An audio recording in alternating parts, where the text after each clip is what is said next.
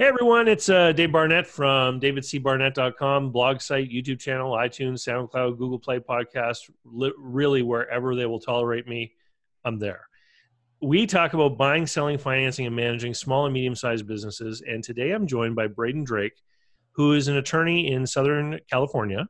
And uh, Braden, you uh, actually studied your you, you studied tax law, and and you are a practicing lawyer. And I, would like to give you a, li- a little bit of an opportunity to just share your story about how you got to where you are today. Uh, but we're going to be talking today primarily about contracts with customers in small business. Maybe you can give us some background and, and how you arrived uh, to be uh, so knowledgeable about this field. Sure. So basically, my brief history is my interest all, all over the place. So in undergrad, I majored in Russian and political science. I studied German. I got my minor in business thought about eight different things for grad school, ended up in law school, got my law degree, passed the bar exam. I actually really loved uh, health law, but then I found a new love for tax law. And that's when I decided to get what's called an LLM in taxation. So that's a master's degree uh, at a law school where the prerequisite is having your Juris Doctorate first.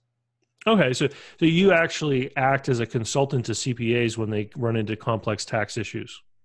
Occasionally, yeah. So if they're doing a complex tax return or they have a question about a deduction, they can pay me a consulting fee to research the case law and all of that on the particular cast, uh, tax issue. Okay, okay, that's neat. Um, how did you come to be working with people, you know, with respect to contracts between businesses and their their clientele or customers? So contracts is kind of I almost want to say the default service if you decide that you're going to go out as a sole proprietor and practice business law. So if you're going to be a business attorney, typically you're forming new businesses and you're drafting contracts. Uh, things like mergers and acquisitions for large companies, those types of things, that's what you're going to be doing at a large law firm. So if you're going to be a solo attorney, uh, you really need to know your contracts because that's what most of your small business clients are going to need. Okay. And and and you mentioned the word client, right? And and, and I want to bring this up because a, a, lot of people who are thinking about business don't often stop and, and consider the people they serve. Now, I mean, in my past, I had I held the various licenses and things, and so we became very attuned to the difference between customers and clients and stuff. And maybe we can talk a little bit about that. If, if someone owns a business, what is the difference between customers and clients, and, and how would that frame someone's attitude about how they interact with those people? Sure. So I'll I'll save like all of the real uh, technical jargon for your copy editors and your mar- marketing consultants, but I differentiate them as customers by products, clients by services. Okay. So I have two businesses. I also have an, an online business where I sell contract templates and courses. Those individuals I would call my customers, and then at my law firm I have clients. Okay, so so people who walk up, buy a thing, pay, leave. That's a customer right? So thinking about a corner store has customers, but someone who you have to sit down and talk with, understand their point, understand their perspective, understand what they want, put thought into what you're delivering for them. That's a client. Yes, that's how I look at it. Uh, when you get into the marketing world, you can use some different terms as well. So, like in my course, I would call you my student because it sounds better than customer, obviously. But then when you're talking about clients for services, there's also the importance of what's just a routine client. And then if you're in a professional capacity, you should understand understand the term fiduciary. So if you're a fiduciary to your client, that's kind of a whole separate tier. Having certain responsibilities because you're perceived as an expert. Right. It's uh so as an attorney, you serve as a fiduciary. So in my role, I have to do what's best for my client. So if I'm hired by a company, a small company, my client would be the company and not the individual that contacted me through that company. So I have a fiduciary obligation to act in the best interest of the company, mm-hmm. even if that might not be in the best interest of that individual person's bank account. Okay. All right. I understand. And so what you're talking about essentially uh, is a more complex relationship and and i guess where i wanted to steer this was towards the the agreements that exist you know um, i guess if i'm a customer of a store i walk in i pick something up off the shelf they give me a receipt once i pay them um, really that's the documentation of our of our transaction, right? You know, right. I walk away with the object I purchased and a receipt. In in a client relationship, we can have a much more complicated agreement. So, what kinds of things need to be spelled out when when a business has a relationship with with a with a client? So I always tell people you, you should have an agreement that explains the what, when, where, why. Am I missing any other W words? And even sometimes, um, or sorry, what, where, when, and how, and even sometimes why. You can put the why in the contract. But basically, you cover all the bases. Uh, why do we have this agreement? How am I serving you? What are you paying me? When am I providing this service? And you just want to run through all of that. Okay. And so if if I'm running a business right now, and um, so let's say I'm a photographer, okay, and I'm taking pictures of people, um, what to what degree should we be documenting these agreements? Like if if somebody emails me and simply says, "I want to hire you to take some pictures of my family on the weekend," can you come to my house at three o'clock? What do you charge? Because I, I get the impression when I'm dealing with a lot of business owners that they're doing transactions without actually having any kind of formal paperwork involved. And it, so I wanted to get your opinion on that and, and kind of hear why that may be okay or maybe it's not okay.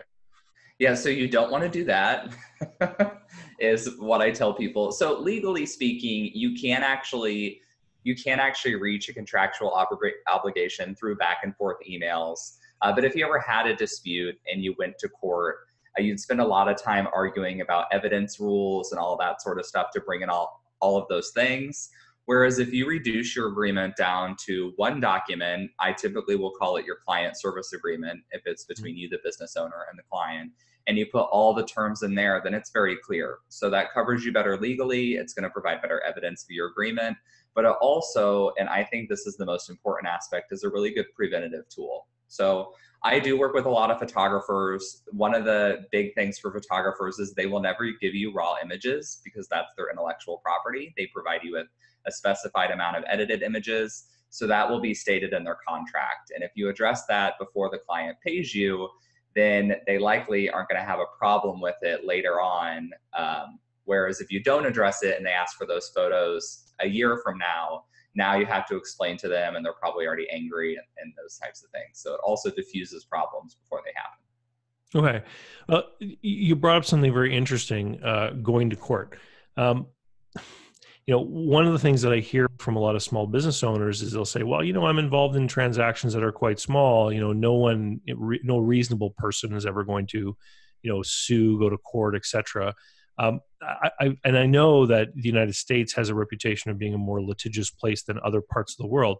I, I just wanted to get a real perspective from someone operating in this industry. Like, like what kinds of lawsuits have you observed happening? Like, how small can these problems be and still end up being involved with courts?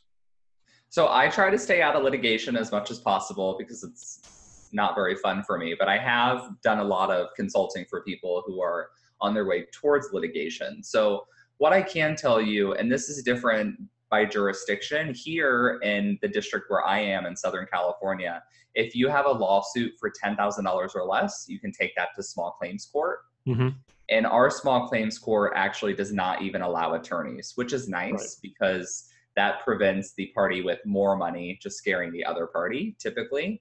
And it costs about $100 to file your case. And then you have to you have to pay to serve that person. So you'll see that happen. Typically, people won't sue for less than a thousand dollars unless it's really personal, but you can certainly see lawsuits from 1000 to 5000 and i've seen that happen a lot i used to mediate at small claims court uh, because your out-of-pocket cost is just a couple hundred bucks so if you believe you're entitled to $2000 that's only 10% that you're going to spend on your court fees so it can happen there. Um, above ten thousand dollars, I feel like there's a really big gap because typically mm. you're not going to want to pay attorneys if you're um, stand to only gain like fifteen thousand because you're going to eat up most of that in attorney's fees.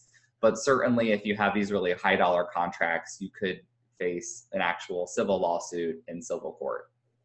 Yeah, that, that's interesting because um, you know I'm just as you're telling the story about small claims court, I'm remembering my own history uh, at one time, I owned uh, some apartment buildings, And I once had some tenants, and they they left the place in a complete mess, in a state of disrepair, and the damage deposit that I had didn't cover it, and so I ended up suing them in small claims court. And here, I under a certain amount, I think the filing fee was fifty bucks, and yeah.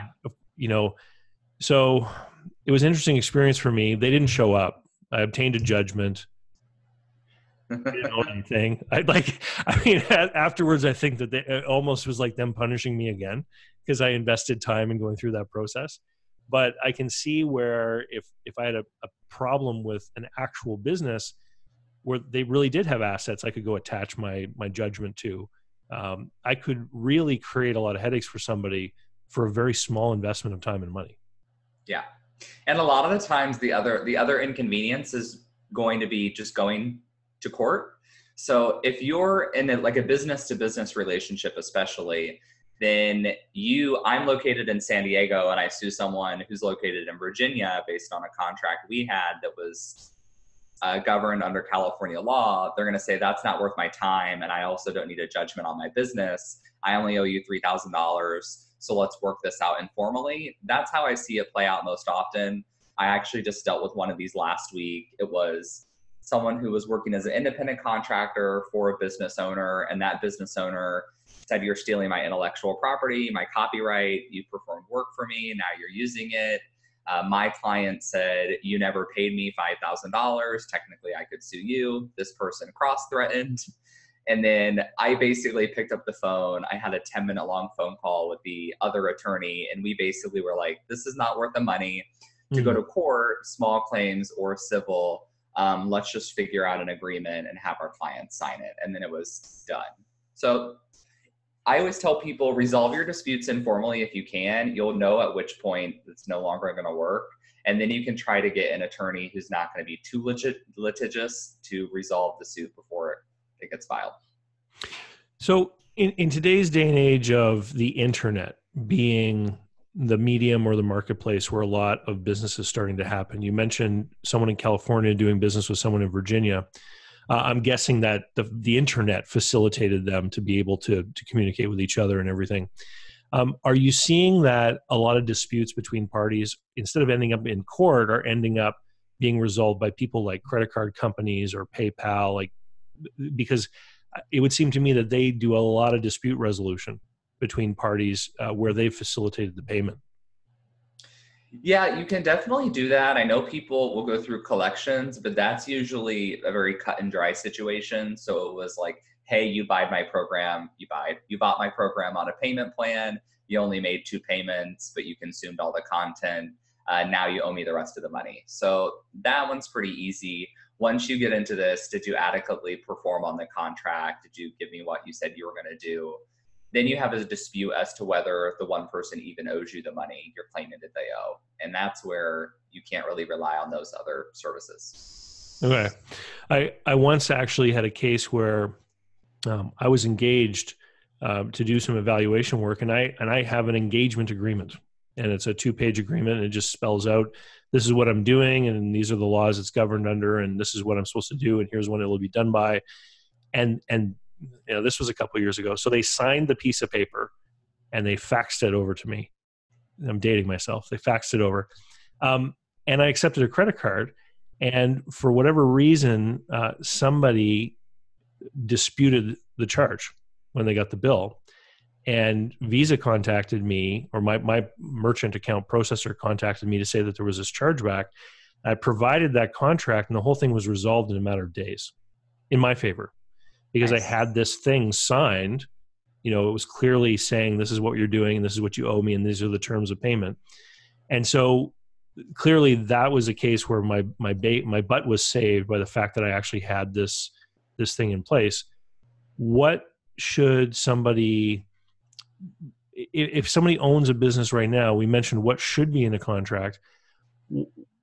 Like how do you overcome people who say they're afraid of scaring potential clients or customers with something that looks too complex or scary? So, a few things. First of all, if the client or customer that you're working with is afraid to sign a contract, that's not someone you probably want to work with anyway. So it was actually kind of funny. I went to a new CrossFit gym yesterday, and I always read the liability waivers when they give them to me, and they're like, "Oh, you're actually reading that?" And I said, "Yeah." And they thought I like didn't want to sign it. And I said, "No, to me, it's just like an academic interest." But um, I I always I'm actually, I'm actually reading it because the more thorough their contract is, I know the more seriously they're taking their business, and then I respect them more, and I think I'm going to get a better service from them. Mm. Interesting. So that yeah, that's another reason. I think having a really good contract says, "Hey, this is this is a legit business. Uh, I took time to write this. I am considering all of the things that could happen in our in our arrangement, whether it's a client or a customer relationship, and I want to make sure that both of us have a mutual understanding going into this transaction." Okay, and so if you know what I, I guess if, if I'm operating a business and I've got these ongoing relationships with people that have that have been you know serving for a long time, one of the things that I've heard people say is, well, you know, we've had this ongoing relationship with this person to now bring in this new level of documentation could represent you know a problem. We don't want to upset the apple cart kind of thing. What have you seen somebody's business evolve to the point where they needed to kind of re redefine relationships with with more formalized paperwork?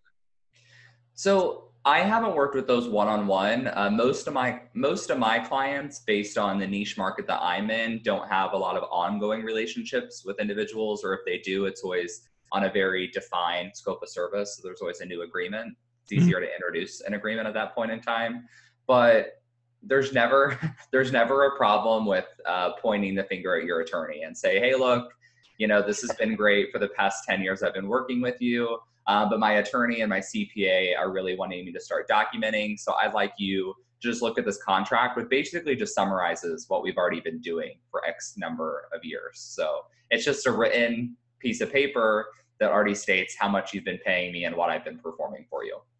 Okay.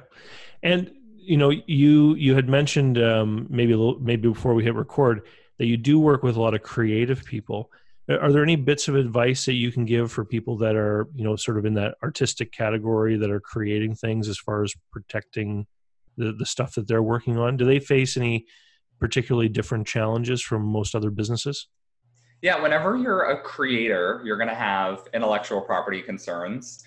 So if you're producing content, uh, you have copyright issues to deal with, and then potentially trademark issues if you're a graphic designer. But then the other thing is is just formalizing all of your agreements into writing because when you're not when you don't come from I don't really know what to call my industry, but like a white collar office environment where you're pushing around a lot of papers and you're more just like into your creative studio doing ceramics or whatever.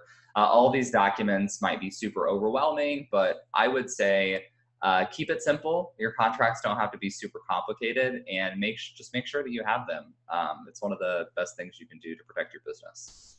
I, I guess a, a, great example would be sometimes you do business somewhere where they have this kind of standard thing with check boxes, and they just check off some things and don't check off other things. Kind of customizing the the thing to whatever it is you're doing, right? You know, we we see this a lot. That's the kind of thing that that most businesses should invest in. Yeah, and uh, the other thing is, is I will see a lot of, I do see a lot of really bad contracts, um, and I'll tell you why they're bad because I think that's helpful. So people are either getting free templates online or they're buying them, which isn't necessarily a problem. But here in the states, especially, we have different bodies of law that govern every single state. So if you're buying a contract that was drafted in Texas, some of the provisions might not be applicable in California. So that's the main problem. Secondary problem is your template has provisions in it that are not applicable to your service or your product. So it could be talking about one thing and you're doing another thing. Um, I've also seen a lot of contracts where it's clear that they got a template that talked about payment terms, uh, but then whoever bought it, so the new business owner decides that they want to have their own payment terms, so they add those, but they add them into like a different paragraph. So now, now as your client, I'm reading this contract and I see like contradicting information about when and how I'm supposed to pay you. So the takeaways really should be you need to cover all of your bases and make it super clear. So I, I always suggest, uh, obviously, working with an attorney, but if you have a really simple contract, just make sure that whoever's reading it is going to know what's in there. So hand it to like your friend, your spouse, whoever, and have them read it. And then say, now explain to me how you think this business relationship is going to work and see if they can tell you what you're going to be providing to them, when they're going to be paying you, what's going to happen if they don't pay you on time, what happens if they cancel, and if they can provide all that information based on the document you gave them. Well, it's interesting because when I when I was going through my training, um, you know, back when I had my business brokerage office uh, here where I live, I had to hold a real estate license, and so we spent a lot of time talking about contracts and stuff. And one of the things that I really took home, and and from my previous career, actually uh, selling yellow page ads a long time ago, what it was always drilled into us is that the contract is merely supposed to represent what people have agreed to anyway. So if you can't understand what the contract is talking about, then it's not a very good representation of what you think that you're doing, right? Right. So it, it's it's got to be understood. And uh, I always like, for example, when um, when examples are put in, right? Especially if it's talking about calculating a late fee. Like this is how we calculate late fees. And here's an example: if you owe us hundred dollars and you don't pay us, then you owe us two dollars extra, or something like that. It's, it makes it very, very simple. Um, I have a funny story though about a contract with a hotel. So I was doing um, a workshop up in the, the Toronto area a couple years ago, and I was renting a meeting room from a hotel. And the person I spoke with said that I had to sign the contract in order to rent the room. And I said, okay, send it to me. And they sent it to me, and it was they sent it to me in Word, so it was like a Word document, and somebody else's name was throughout it. So they they changed the name to be my name uh, at the very top of the contract, but someone other his other client's name was throughout it. So I knew they just like copied it from somebody else's file. And so I went through and I changed I changed that other person's name to my name. But where it said what the room rental rate was, there was some other stuff to do with food service and catering that had been left in there. So I deleted that because I wasn't getting any food service. And then there was a line saying that there was a standard gratuity and I just deleted it. And so I left it simply saying that the room rate was a certain amount plus sales tax. And I, I printed it off, I signed it, and I faxed it to her. And I didn't hear anything about it until the day I was there. And I, I did my thing in the room, and then and then she came the the um the person at the front desk tried to charge me for this gratuity, and I said no, there's no gratuity. There, we didn't get food service. They're like, oh no, no, the gratuity standard, we charge it to everybody. And I said, well, it's not really a gratuity then, is it? If you if if it's really just a fee. And I said, I I don't think that's in my contract. And she said, Yes, it's in everybody's contract. And then she pulled it out and saw that it wasn't in my contract. And um, so I didn't pay it. And uh, afterwards, I kind of got a chuckle out of it, knowing I would likely never be allowed to go back to that hotel again. But um, it just sort of highlights one of the things that you probably should not do if you're using an agreement with a customer. Don't send in a Microsoft Word. Yeah. yeah. So I there are like a few big takeaways. I'm saying three, but it might be two or four. Okay. But a few big takeaways from that story. First, don't send contracts in Microsoft Word. If you're going to actually ask people to print and sign them, which is a pain, and I don't recommend you doing because a lot of your clients won't want to do that, uh, send it in a PDF um, but ideally, all, I always tell my clients to have a CRM, client relationship management mm-hmm. software, where you can send the contracts and get e-signatures. Yeah. Uh, my average turnaround time is like just a few hours by the time I send someone my contract and my invoice to get it signed and paid. So that's what I recommend. Uh, second tip is include have an introduction paragraph which defines the parties. So if i were going to draft a contract for us this is like a pro level attorney tip for you. It would say uh, david barnett owner of insert business name dba all that important lingo. And then i'd put in parentheticals quotes consultant mm-hmm. agrees to provide services to braden drake owner of braden drake law insert brackets and quotes client and then in the rest of the contract never address the parties by name just yeah. use consultant and client so you've defined those terms and then when it comes to the scope of services or what you're providing to them i always tell people to put that in a, an attachment. So then you'll have a paragraph that says scope, scope of services. David agrees to provide services as noted in attachment A to client. And then that way, whenever you're redoing your contracts, all you have to remember to change is the names in the introduction paragraph and the services in the attachment. Anything else that needs to be changed, like late fees, if you want to negotiate that, you can. But try to include as much as you can in the attachment, and then you won't have that kind of problem pop up. Right. And these just become addenda to the contract, they're just added on. Exactly. Or like sometimes you are going to have blanks in your contract. What I do is if there's ever anything in the contract that needs updated for every single client, uh, I make a checklist for my clients. So before they send out a contract, they can say change name introduction paragraph, change due date, change price, and then check them all off and send it out. Oh, great, great piece of advice. Braden, if people would like to meet you online, get more information, or contact you, uh, how can they find you? So my primary platform where I hang out the most is Instagram. If you have a personal or a business Instagram, feel free to follow me. It's Braden Adam Drake, B R A D E N, and then Adam and Drake like the rapper. And my website is bradendrakelaw.com. Okay. I'm not on Instagram. I work, so I told you, I work mostly with uh, like artists, graphic designers, photographers. Yeah, yeah, that makes sense. So that makes sense. That's where all of my clients hang I out. keep I keep hearing about Instagram. I, I, maybe it's something I should look It's into. a pretty powerful business tool. I have to. I have to admit. All right. Thank you very much, Braden. It's been great to talk with you today and amazing, useful tips. And uh, as always, everyone listening, if you if you don't ever want to miss any of my interviews or videos or talks about small business, make sure you sign up for my list over at davidcbarnettlist.com. And with that, we'll see you later. Thanks, Braden. See ya.